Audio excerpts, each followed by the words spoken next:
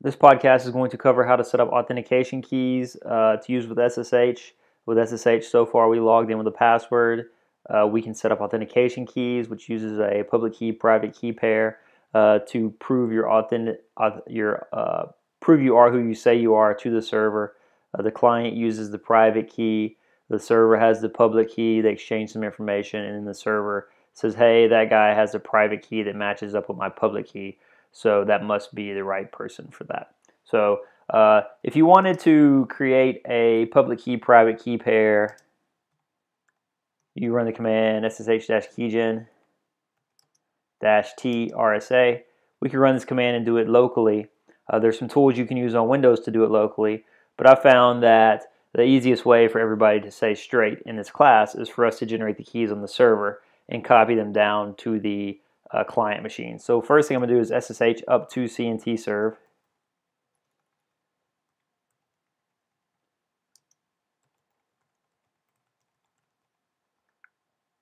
All right, once I get to CNT serve and get logged in, if I remember my password, I'm going to run the same co command I just showed you, ssh-keygen-t RSA. It's like enter the file in which you wish to save the key file. It's not exactly what it says, but that's what it meant. We're going to keep it in the default location, id underscore RSA. This is your private key. And it says, it created the directory.sh for us. It says enter a passphrase. Okay, do you want to enter a passphrase? Well, first let me tell you what the passphrase does. The passphrase is used to encrypt your private key. I'm going to enter a passphrase. Right? So I entered a passphrase. I recommend you enter a passphrase. Make sure you enter it twice. I might have screwed it up the first time. Nope, that worked. Shows you some random art. That's cool, whatever. So now if we do ls.ssh, we have two files in there. So we're going to use the cd command to change directory into the .ssh uh, directory. I know this is early on in the semester, so just follow along with the commands without getting too stressed about what they're doing. And we need to have the id underscore rsa.pub that's our private, our public key. We need to have that in the file called authorized keys. So I'm going to move id underscore rsa dot pub into authorized keys. All right, now I'm going to do a ls-l to look at the permissions because the permissions need to be tighter than normal so that nobody else has access to our key. So I'm going to run a command to remove this read uh, permission from the other users. We'll learn about permissions later, but essentially this first group apply to the owner. Those apply to the group. Those three apply to other. We're going to remove we're going to remove other group other minus read. That's the uh, symbolic way you can do that. Authorize keys. And I typed the wrong command, which is always awesome to do when you're making a podcast. All right, so now if I do ls-l again, I have read write on the authorized keys by the owner, user only, and I also want to look at the permissions of the directory. I can do ls-ld to show me the directory permissions, and it is I am the only one that has permissions to the directory, so that's good. So now I have a public key on my remote system. I need to get the private key to my local system, and the way I'm going to do that is I'm going to exit. I'm going to go back to the local system. I'm going to cd into the .ssh directory right? And I'm going to use the scp command to copy my id underscore rsa, my id underscore rsa file to the local directory. So I'm going to use secure copy, scp. I'm going to tell it what I want to copy, right? Well, for scp, I need to tell it the remote system in this case, in the username. So in this case, I want to copy as rbe2222 at cntserve.hack.edu. I'm going to put a colon, and I want to get the .ssh slash ID underscore RSA. Again, you might be confused as heck right now. That's cool. Just copy the command. Just type the command to get your file because that's the point of this process to get the file. We're going to cover this stuff later. And then I want to tell it to copy it to the current directory. So the dot is a special character in Unix that means Linux, Unix and Linux. It means many, many, many things. One of the things it means is the current directory. So I'm going to do, run this command. It's going to ask me for my password. I didn't type my password, so that's not going to work. All right. So now I copy the file. So now if I do ls, I have the id underscore RSA file. So now the magic thing is, first off, when I connected, you know it asked me for the password. Well, now when I connect,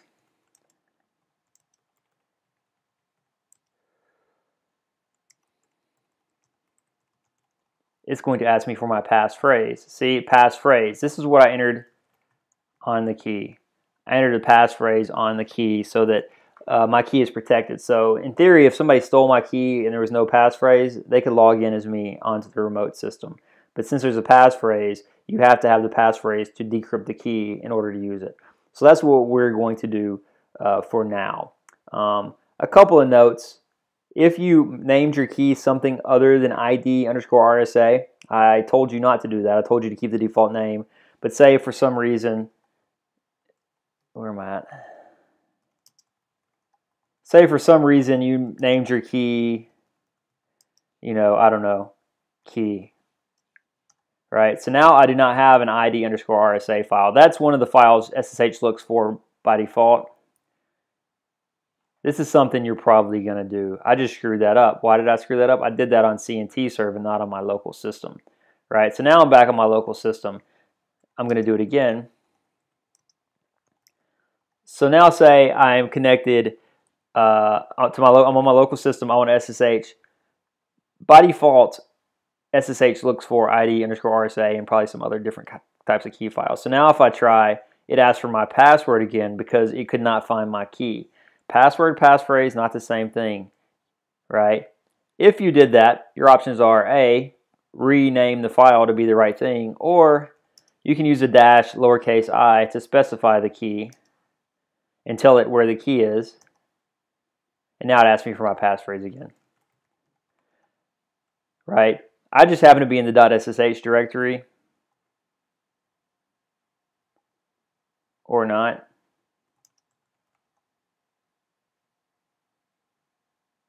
Oh, I guess it looks in the .ssh directory. Oh, I'm on CNT server again. Yeah, I'm being so so obstinate today. I was in the .ssh directory, right? If you try that same command and you're not in the same directory as the key, it's like, oh, hey, I couldn't find your key. I'm so confused. You have to put the path to the key. So in this case, it's in .ssh slash key. I'm doing all these things because these are errors you guys are going to make, and I'm trying to, to avoid them before you make them. So um, if you put everything in the right place, uh, you shouldn't have to do this. Right, and for fun, I'm going to go back and change my key back to the right thing. Right, and now if I do the whole SSH without specifying the key, it should work and ask for my passphrase. So this assignment for Module 1 is to do this. How do you know if it works? Well, if it asks for your passphrase and you get logged in, then it worked. If it's asking for your password, uh, then it didn't work. All right, so that is pretty much the same process for Linux and Mac from the shell. So on my Mac, I have a .ssh directory somewhere, .ssh, in my .ssh directory, I have some keys, ID underscore RSA. So that's why when I do SSH dash L, my username, it logs me in without asking for my password. Uh, my Mac pops up a window every now and then and asks for my passphrase, but it, it, re it remembers that for me. So that key does actually have a passphrase on it. So say you're using Windows. What do you do if you're using Windows? Well, if you're using Windows, depends on what you're using. I figured out what this thing is. It's a magnifier. So if I hold it over, you can see like bigger. So I decided I would like, hey, that looks pretty cool. So maybe you can see better. So um, if you're using Windows and you're using MobaXterm, I can't see this at all. I don't like this magnifier. I need this window down. Oh, yeah. Okay, cool. Go away, magnifier. Oh, hey, it's over there. That, works out too. Let me make it bigger over here. Out of the way. So if you were connecting using MOBA Xterm, right, you want to log in. All right, so I'll connect. It should ask me for my password. Password, right? Yes. No, you can save your password. Don't save. I don't care. It depends on if you trust people who can use your computer. I'll say no for now. Right. And then once you're connected, you can be super lame and drag your key down. Oh, look how lame I am. All right, once you get your key locally, I should have a key on my desktop somewhere.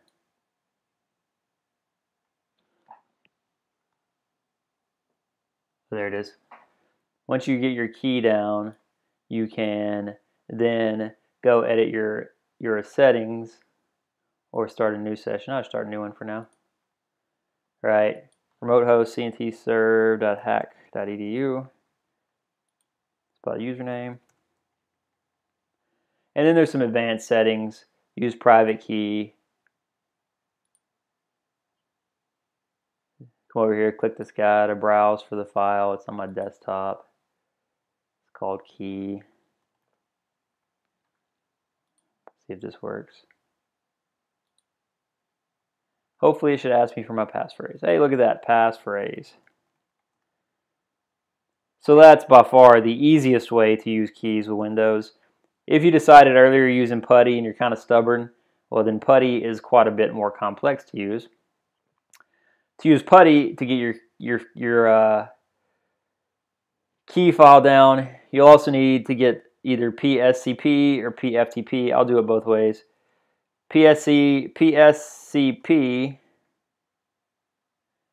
the command works just like SCP on Linux once you download it, you need to change directories to wherever you download it to. I'm in the, the downloads directory, so pscp.exe. I want to do it as rbe2222 at cntserve.hack.edu, and I want to get uh, the file. I need a colon and then the file name, which in this case is going to be .ssh slash key Remember, I changed the name of my file because I'm not very smart.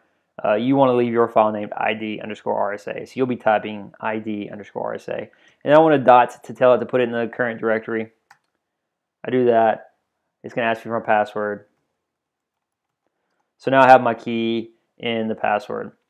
Uh, yeah, my key in the password. My key in my downloads directory. Another thing you could do if you like completely cannot manage the PSCP process. There's PSFTP, which uses the SSH subsystem to give you an, an FTP-like client, right? So I'll run this psftp cntserve.hack.edu. I realize that most of you guys probably aren't old enough to have ever used FTP, but if by some chance you have used FTP and are more familiar with the syntax, uh, it asks me for my password right? And now I can use uh, FTP commands to get the file. So I want a CD and a .ssh. You can do ls to look at uh, stuff, and I will see that I have a file called key.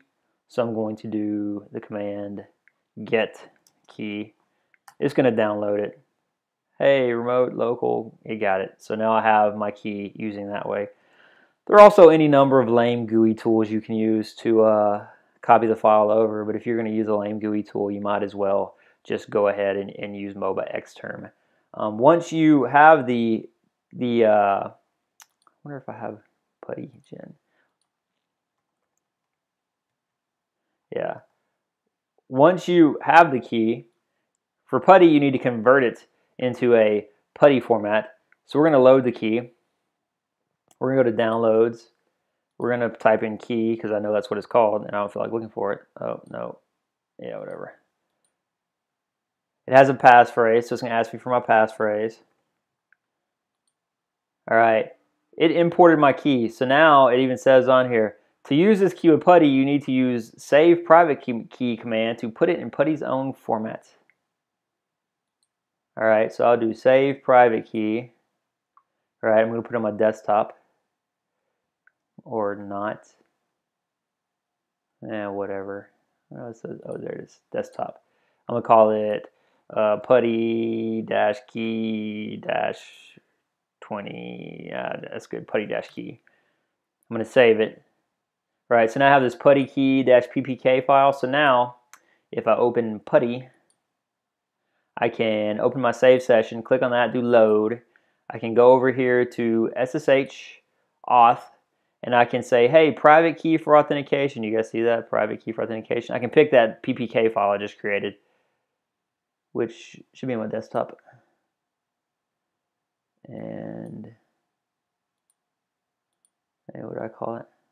Oh, puttykey.ppk. So now, if I connect, it uh, the server refused our key. That's so uncool. That's for my password. Why did the server refuse my key?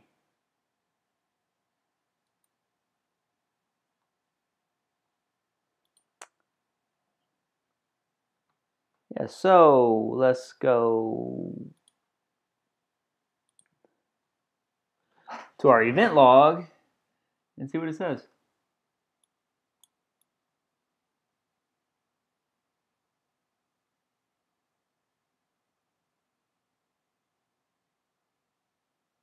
Huh. Server refused our key. That's very uncool. Um, oh, I know why. Because that was the wrong usernames. So see, I uh, opened my session from before as RBE000. So that's why the server refused my key. Uh, I love it when I can figure things out without having to look too foolish. So I'm going to load this guy again. To go back down here. I'm going to specify my key file. But you're like, wait, Rich, didn't you do that a minute ago? Yeah, I did do that, but I forgot to save. It's on my desktop. I forgot to save the session. So that's why I got to do it again. So now I'm to go up here to wherever my username was.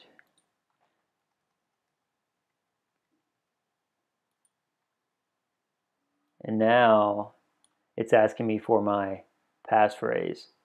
So I put my passphrase.